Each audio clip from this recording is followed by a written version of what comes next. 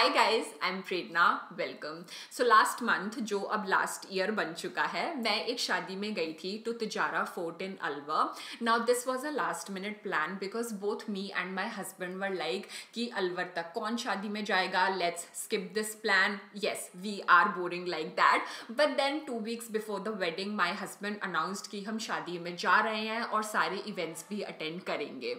तो जो आज मैं आपको चार आउटफिट्स दिखाने वाली हूँ, वो मैंने इस शादी के लिए क्रिएट करे in a span of two weeks कुछ चीज़ें अपनी मिक्स करी हैं, कुछ मम्मी की करी हैं और इस बार तो बहन की भी करी हैं। सारे लुक्स बहुत फन और गर्ली हैं, जो आप अपनी बीएफएफ की शादी, अपने भाई या बहन की शादी में पहन सकते हैं। तो आइए शुरू करते हैं।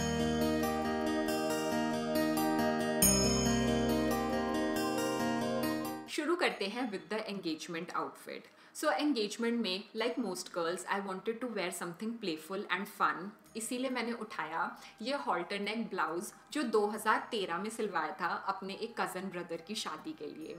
इस ब्लाउज को मैंने पेयर करा विद दिस ब्लैक साड़ी। ये मेरी मम्मी की साड़ी है और इस पर ये सिल्वर कटवर्क का बॉर्डर है which I think compliments the blouse beautifully अब यही मैंने इसमें एक छोटा सा ट्विस्ट ऐड करा। तो मैंने एक रेगुलर निवी साड़ी ड्रेप करने की जगह इसको ड्रेप करा एज अ धोती साड़ी और मेरा फन गर्ली प्लेफुल लुक तैयार हो गया। एसेसरीज के लिए मैं कुछ ऐसा चाहती थी जो स्लीक और मिनिमल हो ताकि ब्लाउज और साड़ी पर सारा फोकस रहे। That is why I went for a sleek bracelet and the Swarovski stud ear दोनों हल्का सा ब्लिंग ऐड करते हैं आउटफिट में बट साड़ी और ब्लाउज को स्टैंड आउट करने देते हैं। बालों को स्लीक और स्ट्रेट रखा मेकअप भी मिनिमल रखा, एक रेड लिप ऐड करा, ताकि ब्लैक और सिल्वर टोन्स में एक पंच ऑफ़ कलर ऐड हो जाए। क्लच भी मैंने सेलेक्ट करा which was red and silver sleek clutch है आउटफिट को परफेक्टली कॉम्प्लीमेंट करता है। फुटवेयर भी मैंने स्लीक रखे, इस पर ये सिल्वर एम्बेलिशमेंट्स हैं, जो बॉर्डर के सिल्वर को अगेन कॉम्प्लीमेंट करता है। And this is how I created my first engagement look दिन की एंगेजमेंट के बाद शाम को थी कॉकटेल सेरेमनी अब कॉकटेल सेरेमनी के लिए मैं कुछ ऐसा पहनना चाहती थी, जो मुझे ठंड से बचाए, क्योंकि वहाँ जेनवनली बहुत ज़्यादा ठंड थी। इसीलिए मैंने पहनी ये हाई वेस्टेड ब्लैक पैंट्स ये ब्लैक पैंट्स आप वर्क आउटफिट्स वीडियो में बहुत बार देख चुके हैं। They are by Mango and I styled them multiple times in the work outfits video. इस बार मैंने इनको स्टाइल करा फॉर द कॉकटेल सेरेमनी ऊपर मैंने पहनी ये हॉल्टरनेक शिमर टॉप ये टॉप मैंने इंसेंस स्टोर सरोशी नगर से ली थी और मैं एक पुराने वीडियो में I think it was for the freshers party outfits मैंने तब आपको ये टॉप दिखाई थी। इस टॉप को मैंने फिर से स्टाइल करा विद दीज पैंट्स इस टॉप में सामने ऐसे डीप काउल नेक है which I think adds the perfect amount of oomph for the cocktail ceremony then ऊपर मैंने ब्लैक लॉन्ग लाइन जैकेट पहनी बाय ज़ारा अगेन आप ये जैकेट मेरे बहुत आउटफिट्स में देख चुके हो, बहुत वर्सेटाइल है। और इसके साथ एक सोफिस्टिकेटेड शीक आउटफिट तैयार हो गया for the cocktail ceremony I went for the same red lip जो मैंने दिन में लगाया था। स्टड्स भी सेम रखे असेसरी में, बाकी ब्रेसलेट भी सेम रखी सैंडल्स भी सेम रखे। ज़्यादा कुछ चेंज एक्चुअली करना नहीं पड़ा एंड क्विकली मेरा डे टू नाइट लुक तैयार हो गया। अब आते हैं नेक्स्ट डे पर। तो नेक्स्ट डे सुबह थी हल्दी सेरेमनी हल्दी सेरेमनी के लिए मैंने ये पहना शरारा सेट ये शरारा आप अगेन देख चुके हैं। मैंने दिवाली आउटफिट्स वीडियो में इस शरारे को आपको स्टाइल करके दिखाया था। तब मैंने oodles and oodles of silver jewellery पहनी थी इस शरारे के साथ। इस बार मैंने उसमें ज़्यादा कुछ चेंज नहीं करा। I went for the same silver jewellery बहुत प्यारा लग रहा था। दिन की धूप निकली हुई थी सर्दियों की। और उसमें शरारा हल्दी सेरेमनी के लिए सुपर गॉर्जियस एंड स्मार्ट लग रहा था। Then comes the wedding look I have revealed the wedding look in my last video वही लुक मैंने पहना शादी के लिए. The bun the jewellery the lehenga I have shown all the details in my last video so in case if you have missed it उसको ज़रूर check out करना.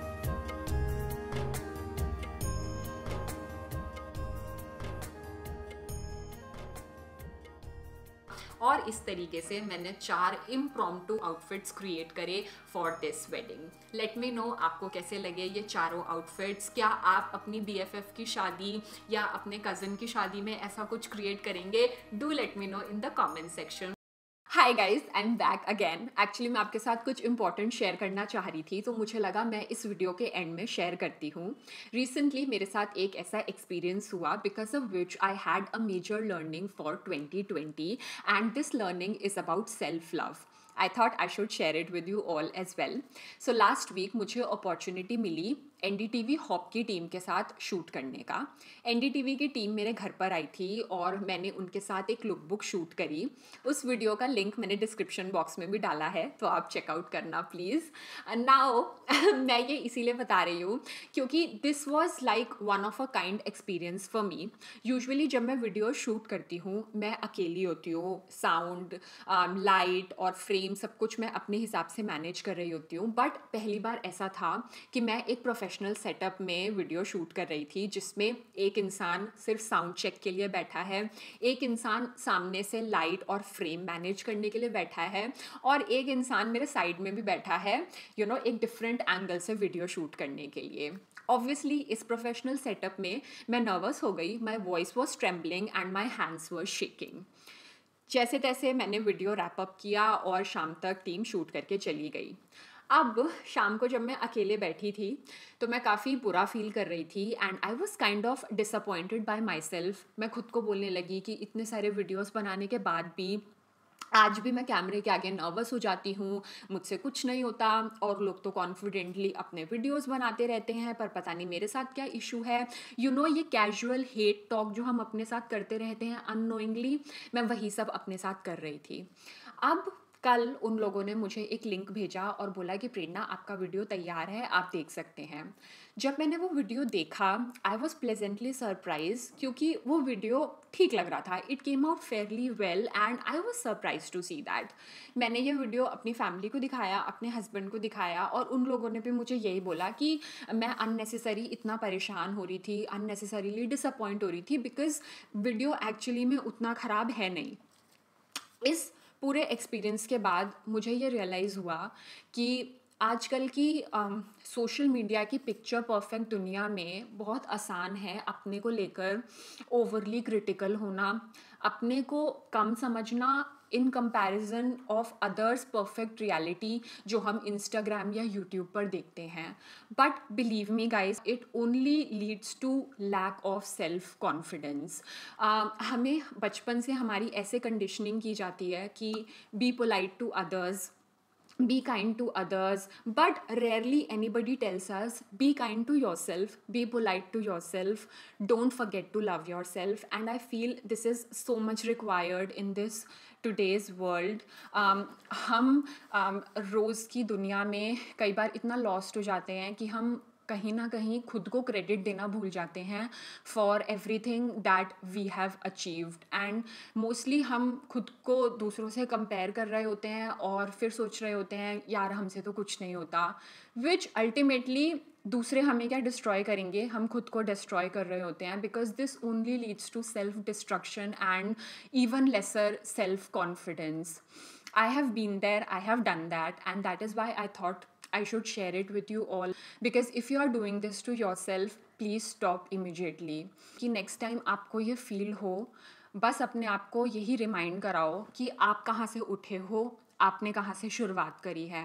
Because at the end of the day this is your reality and this is the only thing that will help you grow give credit to yourself for everything you have achieved don't forget to tell yourself कि मैं वहाँ से यहाँ तक rise हुई हूँ तो मैं आगे भी खुद को इम्प्रूव कर लूँगी। I can do it I will do it और मुझे पता है ये सब चीज़ें I am not the first person to say this और reiterate this but you know despite the fact कि मैं ये सब चीज़ें पढ़ चुकी हूँ, मैं इन सब चीज़ों को लेकर अवेयर हूँ, फिर भी कहीं ना कहीं मैं ये सेल्फ डिस्ट्रक्टिव टॉक खुद के साथ कर रही थी। Yeah this is what I wanted to share and I hope through this talk i helped at least some of you guys. Um, thank you for watching this video and i will see you again next week. Bye guys and take care